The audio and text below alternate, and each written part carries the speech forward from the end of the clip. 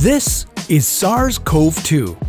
It belongs to the family of coronaviruses named for the crown-like spikes on their surfaces. SARS-CoV-2 can cause COVID-19. 24 FPS சார்பா உங்க எல்லாருக்கும் எங்களுடைய அன்பு வணக்கங்கள் ஒரு பெருந்தொற்று உருவானா உடலுக்கு மட்டும் இல்ல உயிருக்கு மட்டும் இல்ல உளவியலாவும் எவ்வளவு பாதிப்படைவோம் அப்படின்றத இந்த கொரோனா நமக்கு புரிய வச்சிருக்கு இதனால முதல்ல தடுமாற நம்மளோட வாழ்க்கை இப்ப தடமாறவும் செய்யுது இந்த கொரோனாவால ஏற்பட்ட பொருளாதார சிக்கல்ல இருந்து இன்னமும் நம்மளால மீண்டு வர முடியல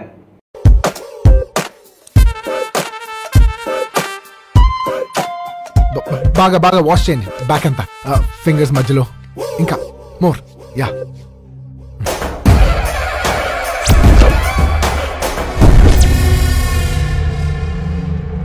కొంచెం జరగరా నాకు స్పేస్ కావాలి కొంచెం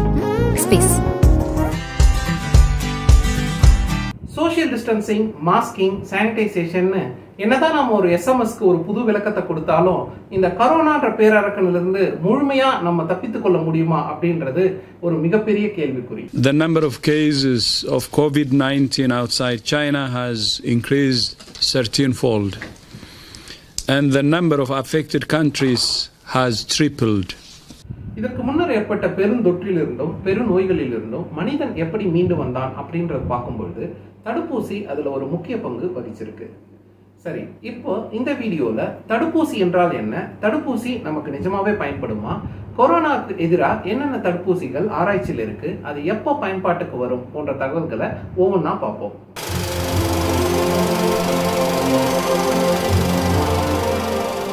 முதல்ல தடுப்பூசினா என்னன்றத பார்ப்போம். ஒவ்வொரு மனுஷனுக்கும் நோயை எதிர்க்க எதிர்ப்பு சக்தி தேவை.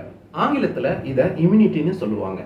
இதுல நேச்சுரல் இம்யூனிட்டி அக்வைர்ட் இம்யூனிட்டின்னு ரெண்டு வகை இருக்கு. இயற்கையாவே ஒவ்வொரு மனுஷனுக்கும் நோய் எதிர்க்க இருக்கிற எதிர்ப்பு சக்தியை நேச்சுரல் இம்யூனிட்டின்னு சொல்லுவாங்க.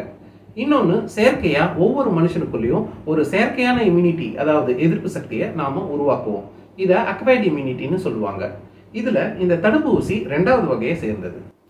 சரி இப்போ தடுப்பூசினா என்னன்னு பார்த்தோம். அடுத்து இந்த தடுப்பூசி எப்படி தயாரிக்கப்படுகிறது அப்படின்ற விஷயத்துக்கு வருவோம். இதை கேட்டாலே எல்லாருக்கும் ஒரு பெரிய ஆச்சரியம் வரும். எந்த வைரஸை எதிர்த்து நம்ம போராடிட்டு இருக்கோமோ அதே வைரஸை தான் தடுப்பூசி மூலமா நமக்கு கொடுக்குறாங்க.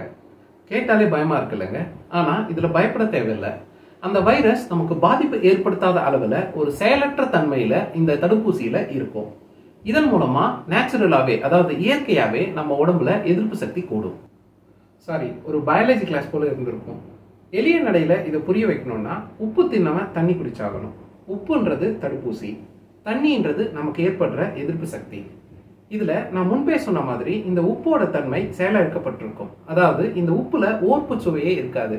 ஆனாலும் நமக்குள்ள உமிழ்நீர் சுரக்கும்.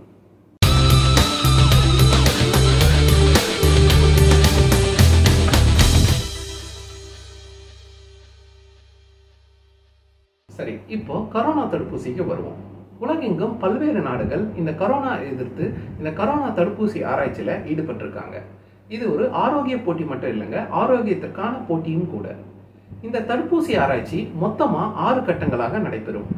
ஆனால் முதல் மூன்று கட்டங்களை தாண்டினாலே இந்த தடுப்பூசி மக்களோட பயன்பாட்டுக்கு வந்துடும் இதுவரை சுமார் நாற்பத்தி ஒரு தடுப்பூசிகள் ஃபேஸ் ஒன் டு டூ அதாவது முதல் மற்றும் இரண்டாம் கட்ட ஆய்வில் இருக்குது சுமார் பதினைந்து தடுப்பூசிகள் ஃபேஸ் டூ டு த்ரீ அதாவது இரண்டாம் மற்றும் மூன்றாம் கட்ட ஆய்வில் இருப்பது குறிப்பிடத்தக்கது. இதில் முக்கியமாக ஒரு நான்கு நாடுகள் தயாரிக்கிற தடுப்பூசிகளை பற்றி இந்த வீடியோவில் பார்ப்போம். முதல்ல நாம பார்க்க போறது இங்கிலாந்தில் உள்ள ஆக்ஸ்போர்ட் பல்கலைக்கழகமும் ஆஸ்ட்ராசின்கா என்ற நிறுவனமும் சேர்ந்து தயாரித்துள்ள ஏசிடி ஒன் ட்ரிபிள் டூ என்ற தடுப்பூசி. இரண்டாவது முறை லாக்டவுன் அறிவிக்கப்பட்டுள்ள யூகேவிலிருந்து இந்த தடுப்பூசி தயாரிக்கப்படுவது இதனோட சிறப்பு. A virus vaccine candidate developed by the University of Oxford is showing promising results even as over 160 vaccine candidates are under development or clinical trials globally. சிறிது நாட்களுக்கு முன்பு நரம்பியல் பிரச்சனை காரணமாக இந்த தடுப்பூசியோட பரிசோதனை நிறுத்தி வைக்கப்பட்டது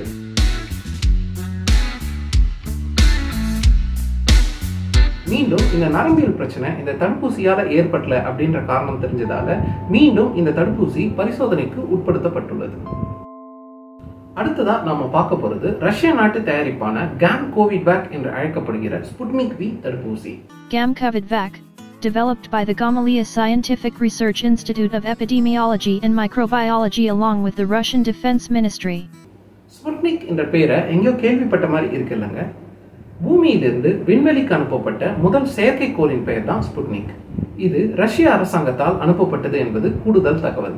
இந்த ரஷ்ய தடுப்பூசி பெரும்பான்மையான மக்களிடையே பரிசோதிக்கப்படவில்லை என்ற குற்றச்சாட்டை ஜெர்மன் நாட்டு வார இதழ் ஒன்று முன்வைக்க அதற்கு ரஷ்ய அரசாங்கம் இந்த பரிசோதனை இன்னும் நிறைவடையவில்லை. அது மட்டும் இல்லாம இந்த பரிசோதனை இந்த ஆண்டு முழுவதும் நடைபெறும்னு சொன்னாங்க. Преимущество так скажем, высказывать какие-то мнения, которые, на наш взгляд, абсолютно безосновательны. А, Действительно, многие страны применяли இந்த கேம் கோவிட் தடுப்பூசியை மக்களாகிய நீங்கள் எடுத்துக்கொள்வீர்களா அப்படின்ற ஒரு கருத்து கணிப்பு சில நாடுகளில் நடத்தப்பட்டது குறிப்பா அமெரிக்காவில் நடந்த கருத்து கணிப்புல ஐம்பத்தி ஒன்பது சதவீதம் பேர் இந்த தடுப்பூசியை நாங்க எடுத்துக்க மாட்டோம்னு இருபத்தி நான்கு சதவீதம் பேர் இந்த தடுப்பூசியை நாங்க தாராளமா எடுத்துக்கொள்வோம்னு கருத்து தெரிவிச்சாங்க இப்படி இந்த கேம் கோவிட் தடுப்பூசி மீது சர்ச்சைகள் எழுப்பப்படுவதற்கு இந்த தடுப்பூசியோட தரம் மட்டும் காரணம்னு நாம சொல்லிட முடியாது. மேற்கத்தியர்களுக்கும் சோவியத்தர்களுக்கும் இடையே நிலவும் பனிப்போரும் இதற்கு ஒரு காரணமாக அமையலாம் அப்படின்ற சந்தேகம் நமக்கு எழுவது இயற்கையானது.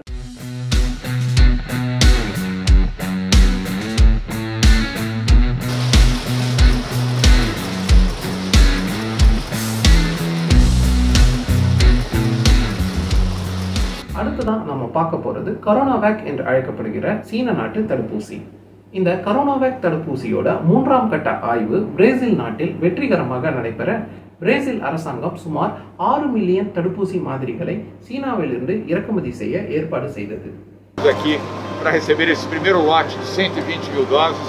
Até o final de dezembro serão 6 milhões, até janeiro 46 e milhões e muito em breve poderíamos chegar a 100 milhões de doses.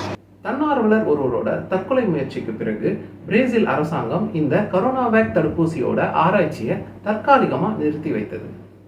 நாம ஏற்கனவே பார்த்தோம் இந்த தடுப்பூசி என்பது ஒரு பயனற்ற அதாவது ஒரு செயலிழக்கப்பட்ட பாதிப்பை ஏற்படுத்தாத ஒரு வைரஸோட மாதிரி தான் இந்த கரோனாவேக் தடுப்பூசியில இருப்பது இந்த கரோனா வைரஸோட அதாவது ஒரு முழு கரோனா வைரஸோட செயலற்ற ரசாயன மாதிரி தான்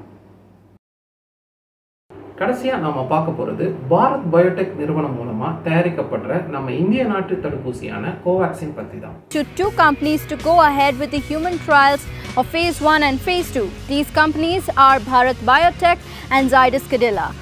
இந்த தடுப்பூசியோட மாதிரியை ஐசிஎம்ஆர் என்று சொல்லக்கூடிய இந்திய மருத்துவ ஆராய்ச்சி கழகம் பாரத் பயோடெக் நிறுவனமிடம் கடந்த ஜூன் இரண்டாயிரத்தி இருபதில் வழங்க முதல் மற்றும் இரண்டாம் கட்ட ஆய்வுகள் முடுக்கிவிடப்பட்டுள்ளது When it comes to Bharat Biotech, it is conducting human trials for uh, Covaxin in collaboration with ICMR and the National Institute of Virology, Pune. இந்த தடுப்பூசியை பரிசோதிக்க ஐசிஎம்ஆர் சுமார் 12 தளங்களை தேர்வு செஞ்சிருக்காங்க.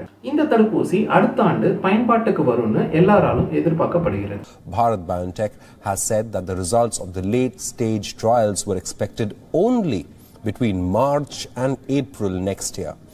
இந்த தடுப்பூசிகள் எல்லாமே நம்ம உடலுக்கு எதிர்ப்பு சக்தியை கூட்டுமே தவிர மனிதனுடைய மனசக்திக்கு முன்னால கரோனா மட்டும் இல்லைங்க கரோனாவோட பாட்டனே வந்தாலும் ஜெயிக்க முடியாது.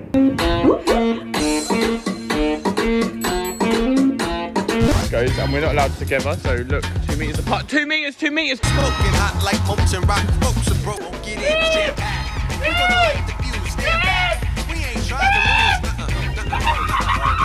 Oh, yeah. I'm brilliant. How are you, James? All right, Pop. I love ya. eagle trip on loaded clip typical Bancardi weekend love stuck in traffic remember to stay home and stay safe இந்த video உங்களுக்கு பிடிச்சிருந்ததுன்னா twenty four FPS சேனலை subscribe பண்ணுங்க.